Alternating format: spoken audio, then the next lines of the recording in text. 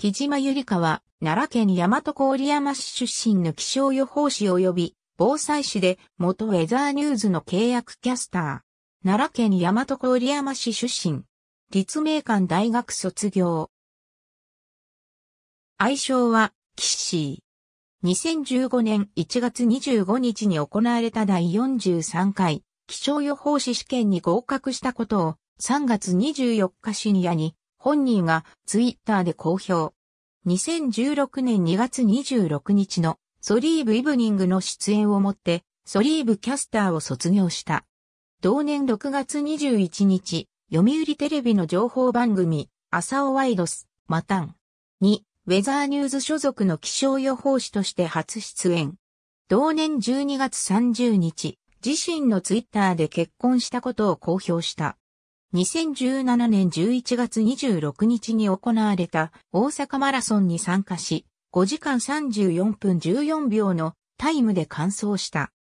この当日は事前に中谷忍が担当すると、自身が担当するとでどちらが先にゴールするかを番組対抗での勝敗をかけ、負けた側に罰ゲームを犯すというルールに両者が同意及び誓約書にサインするというガチ対決となった。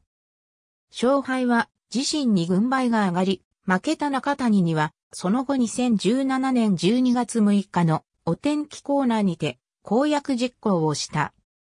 もし木島が負けていたら、辛坊二郎森武氏に生子を取ってくるという罰ルールであったが、当の本人たちにはグアムに行けるという前向き思考であったため、木島はそれに対して憤りをあらわにしたと語っている。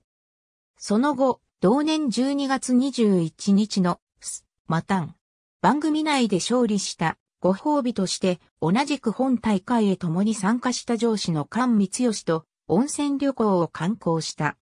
2018年2月20日の出演を最後にしばらく出演していなかったが、同年4月30日に約2ヶ月ぶりに出演。解任を発表した。その後、同年7月31日の出演をもって産休入り。後任は、丸田恵里子が務めることになった。ありがとうございます。